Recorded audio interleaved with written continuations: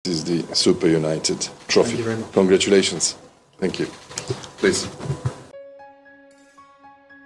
Fabiano Caruana menjuarai GCT Kroasia setelah tampil dominan di hari terakhir. Dia bahkan telah memastikan juara saat turnamen masih menyisakan 5 game blitz.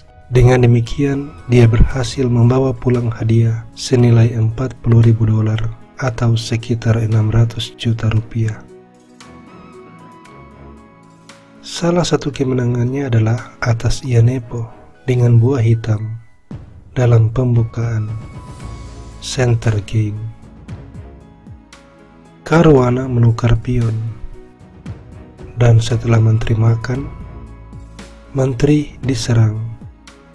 Menteri E3 Kuda Raja dikeluarkan Kuda C3 Lalu Gajah B4 Gajah D2. Keduanya rokade berseberangan. Benteng E8 Gajah C4 Pion D6 dan kuda F3 Di sini Caruana mengadu gajah terang. Gajah ditukar dan benteng makan. Lalu benteng diserang. Benteng kembali Pion A3 Caruana mengambil kuda. Gajah makan. Kemudian kuda diserang.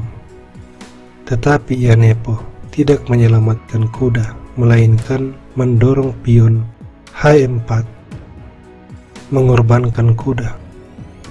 Tapi jika kuda sampai diambil Pion makan.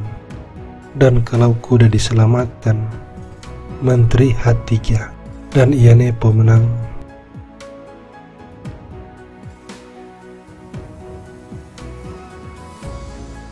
Melihat hal ini, Caruana mengabaikan kuda dan mendorong pion A5.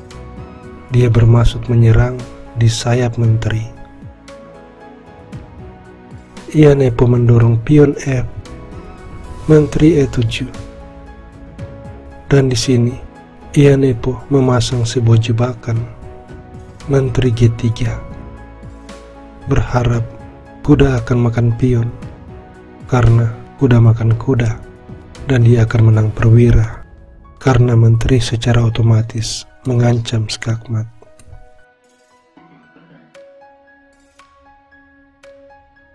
Caruana tentu tidak mengambil pion. Dia mengaktifkan benteng. Raja B1, pion B5. Gajah makan kuda, menteri makan gajah. Lalu benteng D5, serangan pada pion, tapi kuda D4. Menteri D3 dan pion C5 pion E5. Caruana mengadu menteri. Dan pada langkah 22, ia nepo blunder. Dia mendorong pion E6. Ini membuat Caruana unggul perwira karena pion makan kuda. Pion mengancam menteri, tapi menteri H6. Pion C3 dan pion makan pion. Pion makan, kuda makan pion. Ianepo masih mencoba melawan dengan pion G3, namun menteri sekali lagi diadu. Benteng F5, benteng F8, lalu pion G4, dan benteng ditukar. Pion makan benteng, tapi kuda menyerang menteri. Setelah menteri makan pion, menteri juga makan pion skak. Raja A1, kemudian G4. Menteri makan pion, benteng F8, benteng G1, dan benteng diserang. Benteng E1, benteng kembali diserang. Benteng D1, pion bebas bergerak, Menteri A6, dan G2. Selangkah lagi promosi.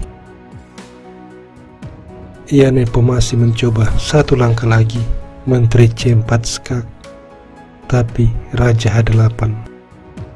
Dan ia Nepo menyerah, karena pion pasti akan promosi.